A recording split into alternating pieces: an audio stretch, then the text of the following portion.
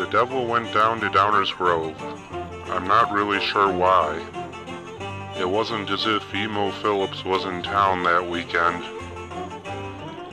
I was in Downers Grove.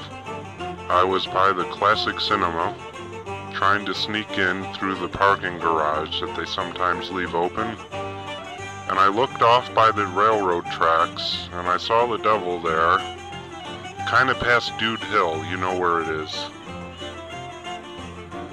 And I saw him, and I said to myself, hey, that's the devil.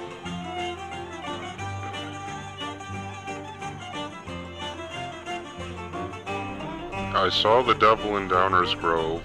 He was by the railroad tracks, and he was heading off towards the place where I had my first out-of-body experience. And I thought to myself, what's the devil doing in Downers Grove? There's nothing to do in Downers Grove, and there's less to do in Westmont. But he was heading towards Westmont, and I don't know why. I figure maybe he had a parking violation that he had to go pay. Yeah, that makes sense.